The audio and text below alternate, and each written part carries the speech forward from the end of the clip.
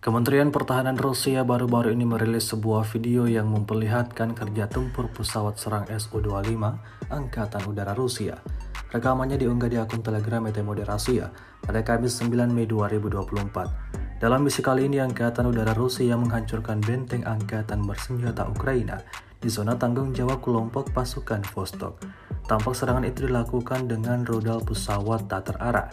Tak terhitung sudah keberapa kali militer Rusia melayangkan serangannya dari udara. Militer Rusia memastikan serangannya kali ini menewaskan semua musuh yang ada di titik target. Hingga video ini beredar beragam komentar dituliskan warganet.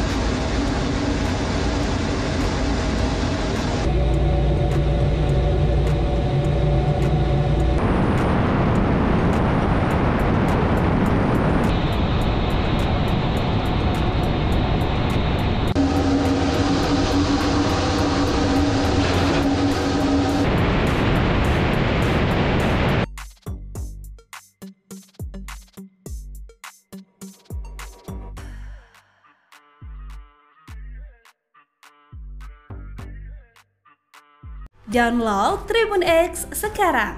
Menghadirkan lokal menjadi Indonesia.